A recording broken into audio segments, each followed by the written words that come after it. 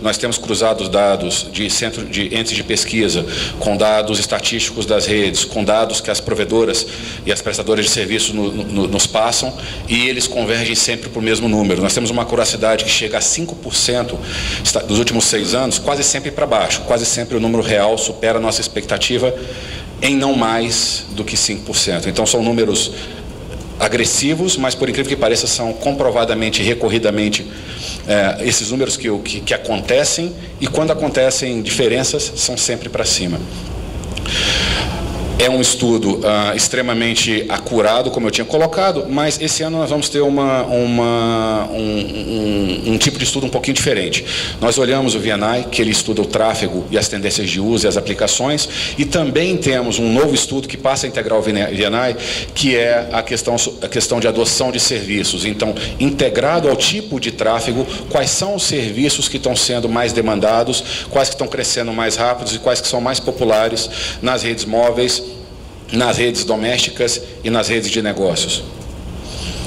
O que, que era do Zetabyte? A moça do vídeo deu boas-vindas a todos, mas é exatamente isso. O que, que é, a era do Zetabyte? É quando nós vamos ter um tráfego global que ultrapassa 10 elevado a 21 bits, ou um trilhão, desculpa, um trilhão de gigabytes. É uma quantidade de dados ah, descomunal, um pouco fora do, até do, do, da nossa medida de contagem usual. Em 2015, nós vamos estar chegando bem perto desse número, nós vamos estar em 96, 900, 966 exabytes e vamos cruzar a linha em 2016. Obviamente, alguém já deve estar discutindo que em algum momento a gente vai passar do exabyte, nós vamos para o iotabyte, que são mil exabytes. Deus quiser, vai demorar, vai demorar um pouquinho, mas não acho que vai demorar tanto, porque nós tivemos essa mesma dúvida quando nós falamos do petabyte, se chegaríamos no exabyte, chegamos no exabyte e está ficando para trás. Zetabyte agora, bem-vindos, e, e, e o yottabyte no futuro próximo. Como é que essa, essa era chegou? Um crescimento uh, do tráfego global, e agora entre 2011 comprovado e o que é esperado em 2016 de quatro vezes. Vocês podem ver o tráfego mensal, a, a, a progressão do tráfego mensal de 31 exabytes por mês que foi o que fechamos ano passado. Esse ano vamos ter a média de 44 exabytes por mês, até o ponto onde a gente vai chegar em 2016 com 110 exabytes por mês. Traduzindo isso para o Brasil, o nosso crescimento é duas vezes maior que o crescimento médio global. Enquanto nesse período o tráfego global vai crescer quatro vezes, aqui no Brasil o nosso tráfego vai crescer oito vezes. De um tráfego mensal de 420 petabytes em 2011 para um tráfego de 3,5 exabytes em 2016.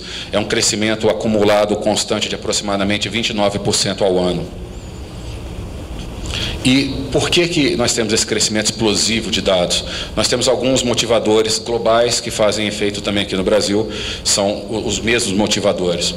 Primeiro, nós vamos ter mais dispositivos. Em 2016, nós vamos ter 19 bilhões de dispositivos.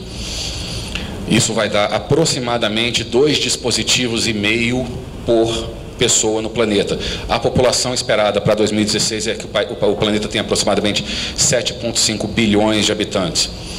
Uma banda larga, quatro vezes mais rápida globalmente, o que obviamente leva a uma experiência melhor do usuário, um maior número de serviços e, obviamente, acaba aumentando o tráfego como um todo.